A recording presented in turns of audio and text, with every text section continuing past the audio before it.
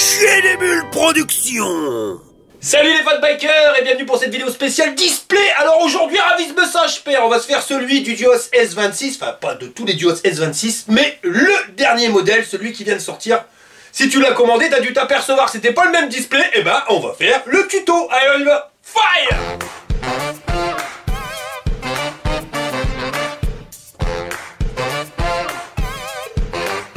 Bon, par contre, dans on va tout voir, c'est-à-dire comment que c'est que ça se goupille, euh, les programmes, sous-programmes, enfin voilà, tout, tout, va être vu directement sur ce display-là.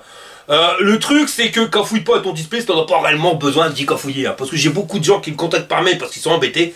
Tu reçois à peine ton vélo que t'es déjà en train de cafouiller au display sans même avoir essayé le vélo. Non, ça sert à rien, copain Roule avec le vélo si le vélo il te convient très bien. Pourquoi cafouiller dans le display? C'est vraiment que s'il y a une mouche dans le kebab, si jamais euh, le compteur kilométrique il donne pas la bonne distance, ou la bonne vitesse, ou alors s'il est pas assez réactif. Ah, voilà, tout ça, ouais, voilà, je peux comprendre. Mais si t'as pas essayé ton vélo, pourquoi y cafouiller Après t'es dans le bras. Voilà, après tu m'envoies des mails. Alors on va arranger le truc, c'est que t'es cafouilles pas si jamais t'as pas de problème. Allez, on y va. Mmh, en clair, euh, fais pas le babache, quoi. mmh,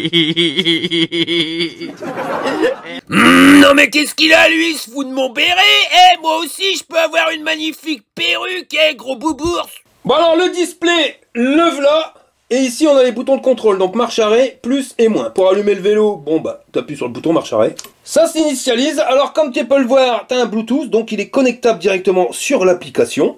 Sur l'application, ici, t'as le niveau de batterie. Juste en dessous, la vitesse en temps réel. Plus et moins, c'est pour régler le niveau d'assistance.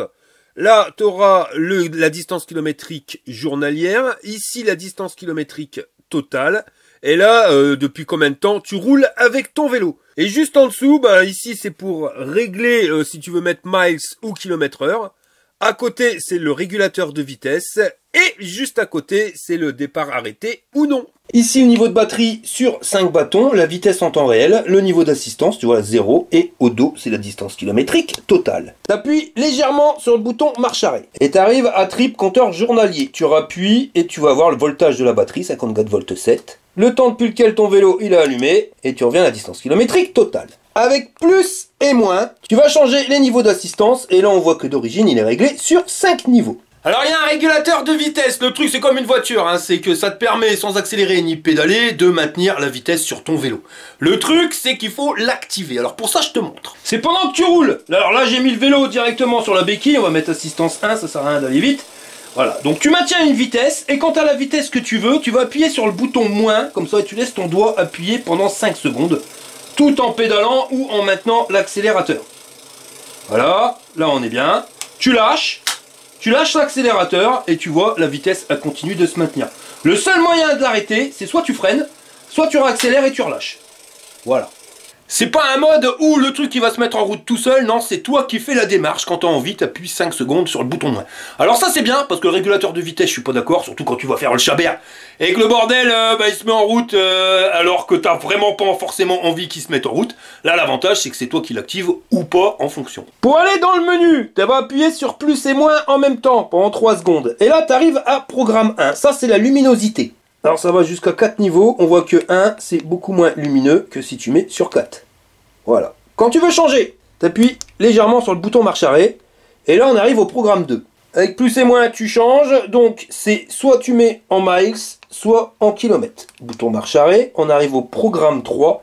Le voltage de la batterie, donc c'est une 48 volts, tu laisses en 48 volts. Programme 4, l'extinction automatique. Notre vélo, il va s'éteindre au bout de 10 minutes. Si tu veux qu'il s'éteigne euh, au bout d'une minute, bah tu mets sur rien. Enfin voilà, tu mets le réglage que tu souhaites. Programme 5, ça c'est le nombre d'assistance. Alors si tu es en 1, tu auras 5 niveaux d'assistance.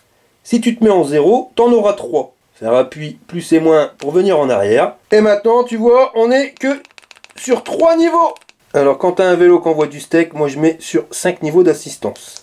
Programme 6, ça c'est la taille de la roue, on est sur une roue de 26 pouces, donc on laisse en 26. Alors là, tu cafouilles pas avant d'avoir fait le test, c'est-à-dire à quoi ça va servir l'histoire de la roue, de la taille de la roue surtout. C'est pour te donner la distance kilométrique totale et la vitesse à laquelle tu roules. Pourquoi? Parce que lui, le moteur, il voit le nombre de tours que tu fais par minute, et on lui donne la taille de la roue, et il sait, il convertit, donc il arrive à trouver une vitesse.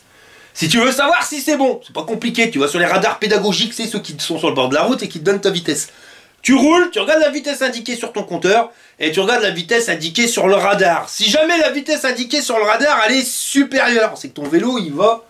Donc c'est la taille de roue en clair elle est trop basse, donc il faudra augmenter la taille de la roue. Si par contre tu vois qu'au niveau du radar euh, ben, on donne une vitesse qui est beaucoup moindre, eh ben il faudra diminuer la taille de la roue. Donc te prends pas la tête, cafouille pas avant, tu regardes et tu vois par toi-même.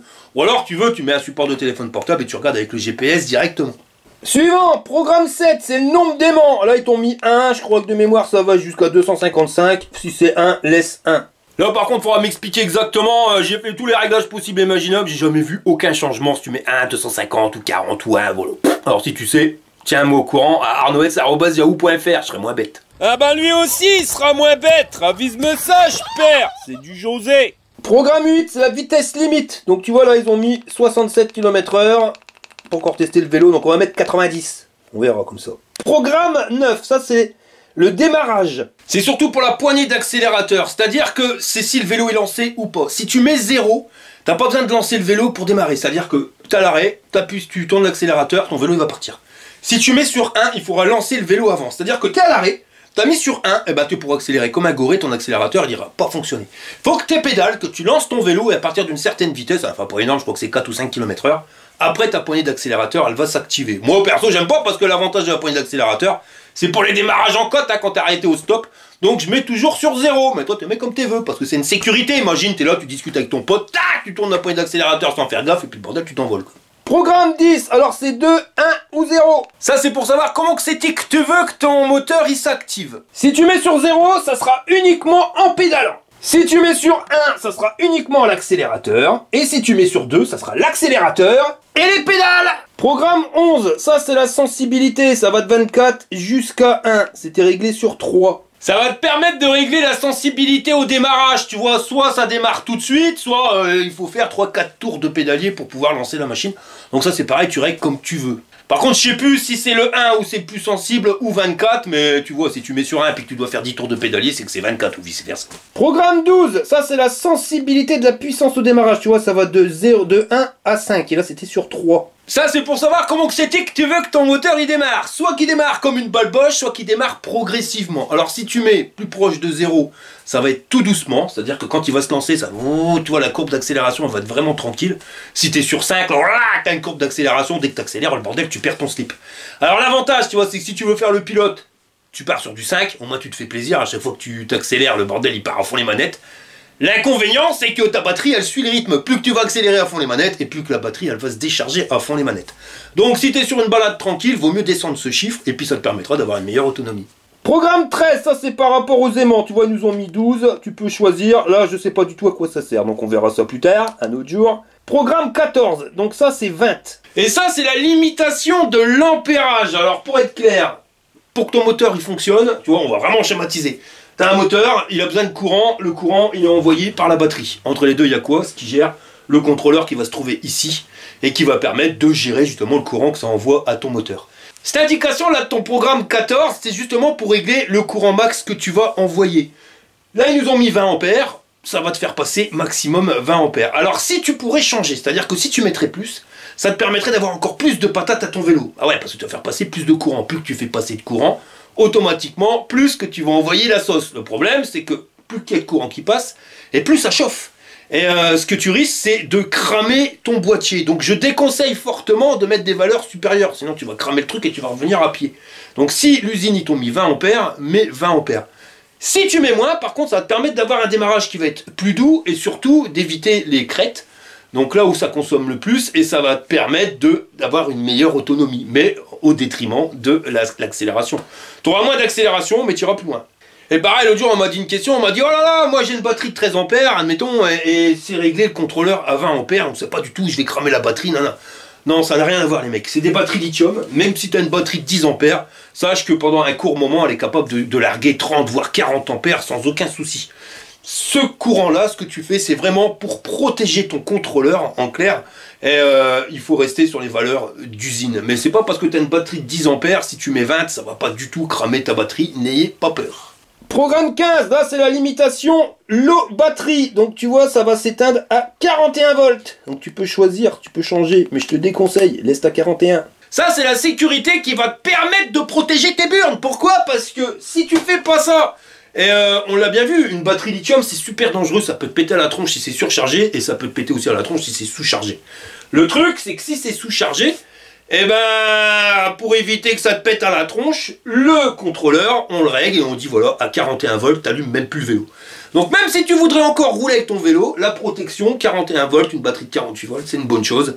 Donc on ne pourra pas perdre une burn. Voilà Donc ça, je te le donne à titre indicatif, mais ça peut servir parce que j'ai déjà eu pas mal de pannes où les gars, ils roulaient. Et puis voilà, ils faisaient euh, même pas 5 km et qui, le vélo, il se coupait. Putain, c'est pas normal, le vélo, il se coupe. C'est parce qu'il y avait dans cette valeur-là, elle était trop élevée, genre 48 volts, une batterie de 48 volts, il l'avait mis à 47 volts ou 48 volts, en sachant que quand elle est chargée complète, on l'a vu, ça fait au moins 52, 54 volts, donc ça permettait de rouler un peu, mais dès que ça arrivait à 48 volts, 47, boum, le, vélo il s'arrêtait. Alors qu'il aurait pu encore continuer, donc ça c'était la panne. Mais quand fouille poste à 41, c'est bien. Programme 16, ça c'est pour la remise à zéro du compteur kilométrique total, mais on n'a pas besoin, il est déjà à zéro. Programme 17, t'as le choix entre 1 et 0. Alors ça c'est pour activer ou désactiver le régulateur de vitesse. Tu mets sur 0, tu pourras appuyer autant de fois que tu veux sur la touche moins, voilà, ça changera rien. Si tu mets sur 1, par contre, là tu pourras activer le régulateur de vitesse. Mais c'est pas ça qui va faire que le régulateur de vitesse il va être réglé par défaut. Tu seras tout le temps obligé de l'activer toi-même en appuyant sur la touche moins. Et pour les autres programmes qui restent, ils sont pas activés directement sur le S26 parce que sachez-le, euh, il se peut que vous ayez un vélo, que ce soit pas le Duos S26, que vous ayez le même display, mais que finalement, donc les réglages, les paramétrages, ils seront pareils. Enfin, voilà, les, catégories programme 1, programme 2, programme 3. Mais il se peut que, tu vois, tu as certains programmes, comme admettons celui qui va te permettre de régler le niveau d'assistance, et eh ben que celui-ci fonctionne pas, parce que ça va dépendre du contrôleur, si le contrôleur il a été prévu ou pas pour accepter ce changement, ou si le constructeur a dit non, euh, il vous faut pas qu'il cafouille, et hybride, comme tu vas prendre un vélo chez Sirucher, leur contrôleur, mon copain, c'est mort Tu peux pas faire beaucoup de réglages parce qu'ils veulent pas que les gens y cafouillent, et je peux comprendre, hein, parce qu'après, moi qui fais pas mal de SAV, je peux te dire qu'il y en a, ils cafouillent vraiment, et vous foutez la merde. Donc, euh, bah voilà, il y a des constructeurs qui décident que certains critères, c'est touche pas un petit con, sinon tu vas tout faire péter Ouais, c'est un peu comme José quand il change un pneu. Avise-me ça, je perds. Lui aussi il va tout faire péter. Bon bah voilà les gars, j'espère que cette petite vidéo va t'aider. Si c'est le cas, tu peux mettre un petit pouce en l'air. Si t'es pas abonné, abonne-toi. Et je le répète, c'est vraiment pour vous donner un coup de main. Alors vous faites pas la misère à faire des réglages alors que vous n'avez pas besoin de les faire. Hein. C'est vraiment que si t'as une mouche dans le kebab, hein. voilà, sinon euh, ça sert à rien. Voilà les gars, allez, je vous dis à la prochaine pour une prochaine vidéo. Alors accroche à te marrante, j'ai pas peur parce que je suis un fat biker. Fire. Hmm.